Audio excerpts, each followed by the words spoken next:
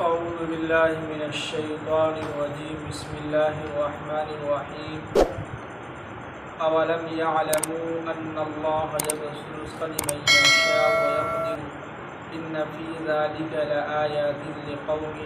युमिनून कल पिछले आयत में बात चल रही थी कि अल्लाह ताला ये फरमा रहे थे कि जो शख्स भी जो असाबहम सयात मा कसब जो शख्स भी बुराई कमाएगा तो उस बुराई की वजह से उसके ऊपर मुसीबतें आ सकती हैं। अल्लाह ताला कभी भी उनको आज़ाब में गिरफ्त कर सकते हैं। और आगे जो अल्लाह ताला कुफार मशरकिन और अरब के लोगों से कह रहे थे कि जो शख्स भी बुराई कमाएगा तो अनकरीब अल्लाह ताला उनको भी जो अपने आज़ाब में गिरफ्त कर लेगा। और आगे फरमाए कि वमा हम बेमजीन और अल्लाह ताला को ये सारे के सारे लोग जो लोग जो है, आजिज़ नहीं कर सकते, अल्लाह को हरा नहीं सकते हैं। अब आगे अल्लाह ताला कह रहे हैं कि अवलम या आलम क्या ये लोग जानते नहीं हैं कि अल्लाह ये अल्लाह ताला यबसुरस्कलमैशा वयकदिर जिसके लिए चाहता है रिस्क खूब देता है उसको। क्या है? अल्लाह ताला ये फरमा रहे हैं कि हम दुनिया के अंदर जिस शख्स को जितना चाहते हैं उसको हम खूब रिस्क देते हैं और वयक दिरू और जिसको चाहते हैं कम कर देते हैं कम कर देते हैं। ये किसके हाथ में है? अल्लाह के हाथ में तो अल्लाह ताला को फार मुश्किन पर उनके सामने ये बात रखें क्या इन लोगों को मालूम नहीं है इस दुनिया के अंदर जिसको हम चाहते हैं खूब पैसा देते हैं, खूब मालो दौलत देते हैं और किसी को चाहते हैं कुछ भी नहीं देते हैं देते हैं, लेकिन कम देते हैं, तंग कर देते हैं। अब आगे कह रहे हैं कि इन नफ़ी आयातिन इसमें उन लोगों के लिए बहुत ही भारी निशानियाँ हैं जो लोग ईमान रखते हैं, जो लोग ईमान वाले हैं। अब यहाँ पे गौर कीजिएगा, जो लोग ईमान वाले, उन लोगों के लिए कहा गया है इसमें बहुत भारी निशानी है। निशानी ये है इस दुनिया के अंदर हर एक इंसान जो है मालदार नहीं हो सकता है। हर एक इंसान की ख्वाहिश होती है हमारे पास क्या हो, पैसा हो। हर एक इंसान की ख्वाहिश लेकिन हर एक इंसान को मिलता नहीं अब न मिलने पे अल्लाह ताला ये कह रहे हैं कि उस पर तकदीर पर ईमान रखना है। ये जिस पैसा जो है अल्लाह ताला जिसको चाहता है खूब देता है और जिसको चाहता है कम देता है। तो इसमें हमको परेशान होना नहीं है, टेंशन नहीं लेना है। पैसे के मामले में, रिस्क के मामले में टेंशन लेना ही नहीं इसलिए कि जो लोग ईमान रखते हैं, जो लोग ईमान वाले हैं, वो परेशान नहीं होते।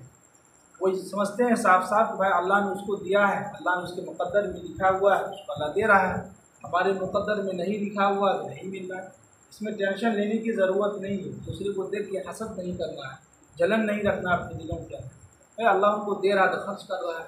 हमारा उसमें क्या जा रहा है? हम अपने दिल को क्यों जलाएँ? हम अपने दिमाग को क्यों ख़राब करें? अपनी ज़ुबान पर जो है गाली क्यों निकालें? ज़ुबान से जो है गाली क्यों निकालें? तो हमें अपने इस पर यकीन रखना होगा कि भाई क्या है? रिस्क देने वाला कौन है? अल्लाह ही। पैसा जिसको देता है तो खूब देता है अल्लाह ताला। जिसको नहीं देता है, कुछ भी नहीं देता है। कभी कभी ऐसा होता है कि बहुत जो पैसा कम रहता है, तंगी हो जाती है।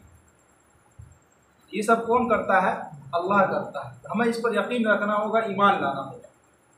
अब आगे अल्लाह ताला बहुत ही अहम और मोहब्बत भरे, समझिए कि मोहब्बत भरे अल्फाज में बात कर है कि कुल ए नबी सल्लल्लाहु अलैहि वसल्लम, इनसे कहिए कि या इबादी अल्लज़ीन ए मेरे वो बंदे, असरफ़ु अला अनफुसिहिम जिसने अपने जानों पर अपने ऊपर जुल्म किया है ज़्यादा कर रखा है।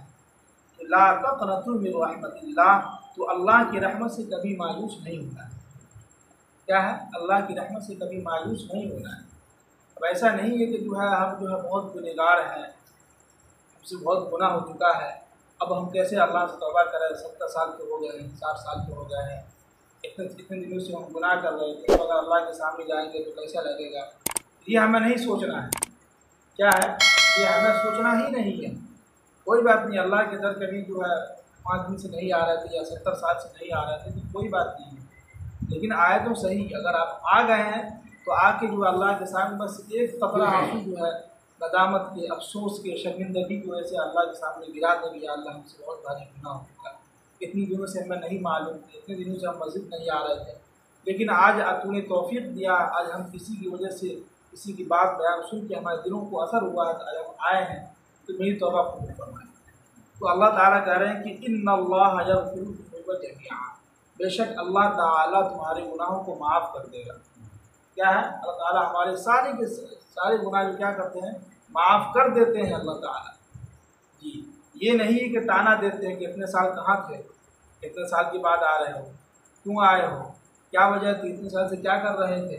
कुछ नहीं अल्लाह ताला पूछेंगे। कुछ पूछेंगे ही नहीं। बस एक मरतबा जो है, नदामत की शर्मिंदगी के अफसोस के आँसू बहा दें अल्लाह के सामने।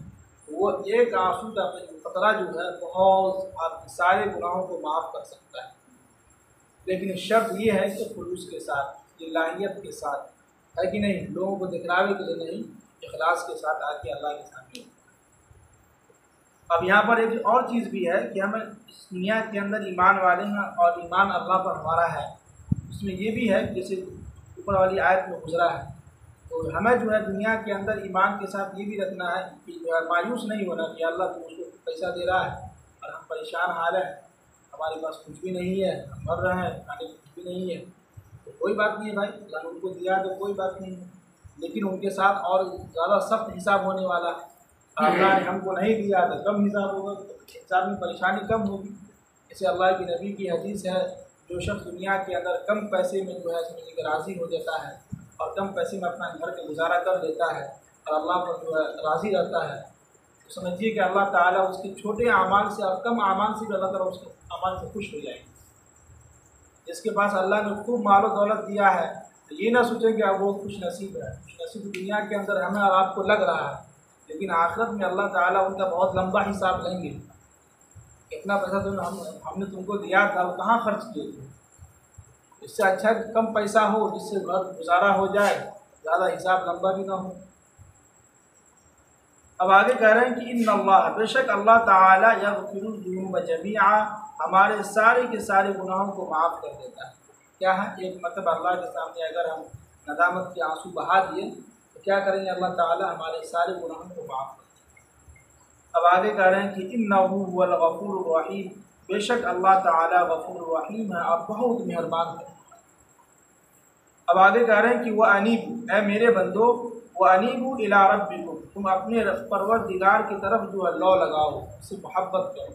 अब यहाँ पर एक बात समझिएगा कुरान ने पहले ये बयान किया है कि अल्लाह की रहमत से कभी मायूस नहीं होना। ठीक है, आपने बहुत जुल्म किया अपने ऊपर। तो आके अल्लाह से माफ़ी मांगिए। और माफ़ी मांगने के बाद ये नहीं है कि अशा के वक्त में आए, माफ़ी मांग के जो फिर जो है, साल भर गायब है। ये नहीं। हाँ कुरान आगे ये भी शर्त लगा दिया वह अनीबू इला रब्बिकुम। उसके बाद अल्लाह से लॉ लगाना है। पाँच वक्त की नमाज़ की पाबंदी करनी है।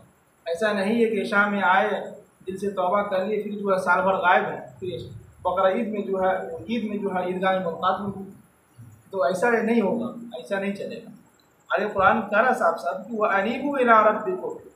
तो तुम जब अल्लाह से माफ़ी मांग लिए हो तो अल्लाह ने तुम्हारे गुनाहों को माफ़ कर दिया है तो वह अनीब इला रबी को उसके बाद अल्लाह से जो है लॉ लगाओ, रोज़ाना पाँच वक्त की नमाज़ में रो, अल्लाह से मांगो, या अल्लाह बहुत हमने गुनाह कर चुके हैं, माफ़ कर दीजिए, और आइंदा के लिए हमको जो हिदायत दे दीजिए, हमको सीधे रास्ते पर चलाइए। ये हमें मांगना है। अब आगे कह रहे हैं कि वह असलिमू लहू, और उनकी फर्मा बरदारी भी करना है। क्या करना है? अल्लाह से लॉ लगाने के साथ साथ क्या करना है? फर्मा बरदारी करना है। जिस चीज़ से मना किया है अल्लाह ने, उस पर हमको रुकना होगा। और जिस चीज़, जो चीज़ हमारे लिए हलाल किया उस चीज़ को इस्तेमाल कर सकते हैं।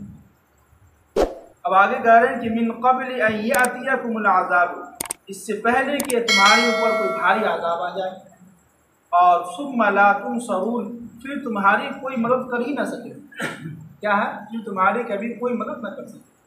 अब यहाँ पर एक आयत, इस आयत को गौर से समझिएगा हम कहने जा रहे हैं। इस दुनिया के अंदर बहुत सारे ऐसे लोग हैं जिनको आप बोल बोल के थक गए हैं। लेकिन जब उसके ऊपर कोई मुसीबत आती है तो वो चीखता है, चिल्लाता है, कोई मदद के तैयार नहीं होता। है देखिए होंगे आप। है कि नहीं?